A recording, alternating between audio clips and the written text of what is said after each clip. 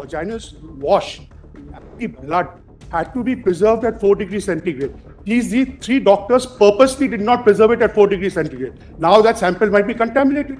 It has to be preserved at 4 degrees centigrade. Well, if the CBI, if the- that- Therefore, I say that doctors there is are- something very serious. I'll tell my lord, your lordships, in case of a rape and a murder, the first five hours are crucial. No, the first five hours is the period where you have to cordon off the area. You cannot have an uh, ingress and outgress. Whoever wants to come, come and go, they take pictures, photographs, evidence is destroyed. And thereafter, after five days, if we enter the scene, That's why we we have our own challenges. We asked, the CCTV footage between 4:30 in the afternoon onwards been handed over to? yes, the it has been. They say it has been. Well, we've got No, the document of 27 handing over.